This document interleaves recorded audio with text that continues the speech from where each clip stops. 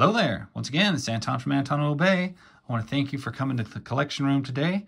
Uh, today we're looking at some Silver Surfer comics. If you like what you see, give me a thumbs up. And if you really like what you see, I have a huge back catalog of videos like this and uh, various, various other types of videos, uh, which you're more than welcome to flip through. Uh, today I'm looking at Silver Surfer. I don't have a full run of these by any means. I just, I've acquired quite a few in in some runs. And I used to have like full sets of this stuff.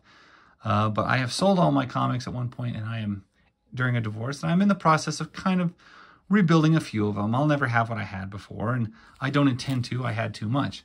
But uh, I pick up a little bit here and there. And that's kind of how I collect these days. And I no longer worry about bagging and boarding stuff. Uh, so what I got is just some random issues of Silver Surfer. I got issues 69, 90, 95, and 96 nothing in order, but I really just kind of wanted to give this book a look through. Uh, these are about 30 issues apart, so um, I just thought I'd see kind of how how things look in them. I have a lot of them. I had like 1 through 50 solid, and I think I had flipped through those before, but I never remember flipping through anything after that, uh, especially in the 60s and 90s issues. Now, this is 1992. And one thing I'm immediately noticing is there's not a lot of talking, which in the old Silver Surfer that I remember reading, uh, he was like the longest winded character ever. And I think he was like Stan Lee's uh, avatar of blathering on about stuff. Because that's all I remember about old Silver Surfer comics was, holy cow, how many, like, how many word bubbles and words do we have to read? There was almost no room for the pictures. Um, this art looks good. I'm digging it. Definitely spacey. I don't recognize any of these characters per se, except for, well, Galactus. I recognize him, but who doesn't? He looked awfully small in this picture. I was thinking Galactus is larger. I recognize Stephen Strange, um, which anytime he shows up in your comic book in the 80s or 90s, I kind of put that as a mark against you uh, because I'm not a fan at all of Doctor Strange and I mostly just find his his inclusion into most stories uh, usually means that it's going to be annoying to me and overwrought with magic and stuff. And I, I just don't particularly care for strange, Strange's flavor of magic and story influence. That's a crazy looking thing. And is his head transparent because we can see the background through his mouth? That's kind of weird. It must be like a one-dimensional head slice of head. Chunk. That's probably, a, that's an awesome name. Your just name's going to be Chunk.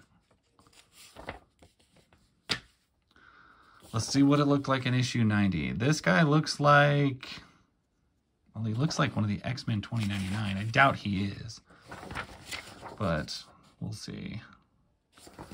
Uh, the art's a little goofy. Yeah, I'm not digging. Like the Silver Surfer, you can't even, he looks so undefined and weird. Says he got so many different tone colored bubbles on him that I can't tell what I'm looking at. I imagine he is a royal pain in the butt to try and draw and also color without just looking super boring or super, I don't know, blah, just like a glob. Either way, this art is not good. Like, I can barely make out the body shapes and stuff. Not digging it.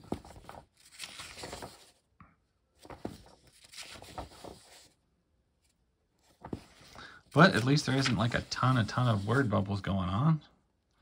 So that's always good. You can definitely have too many of those going on in your Silver Surfer comic.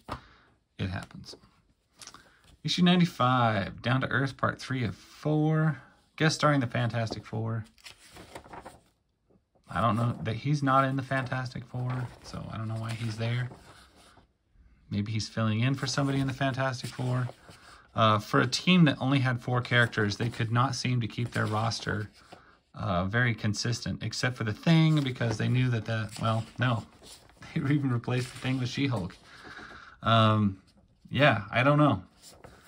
It's like, I don't know. I just, I'm not a big Fantastic Four fan by any means. And so any reason, anything I can find to bag on them about, I will. And the fact that you can't keep four members going at once, uh, that's reason enough right now. The art in this one is a little better than that last one. I'll definitely say that. Surfer looks a little too ripped. Like he doesn't, he looks like massive. Like I don't remember him looking that massive. He's looks, supposed to look like a fairly well in shape guy, not like, not like that. That's like, that's like a chrome Brawny man. This guy's like Mr. Clean. He's ready to sell us some stuff. An incredible guest star. Gee, I wonder who that could be. We know who it is. You already know who it is. Issue 96. Uh, guest starring the Fantastic Four and the Incredible Hulk. Looks like the art is looking even a little better than normal on that one. So, well, I don't know if I like that thing. He looks a little messed up. This is him post Wolverine claws on his head, so that's a thing that happened. Maximum Carnage is out in stores, so that was good. Uh, Surfer looks not as ripped as he did in the last one, and I appreciate that because that one, he just looked way too big. Um, but now you got two beefy guys on your same team. You got both Ben Grimm and the, the Incredible Hulk.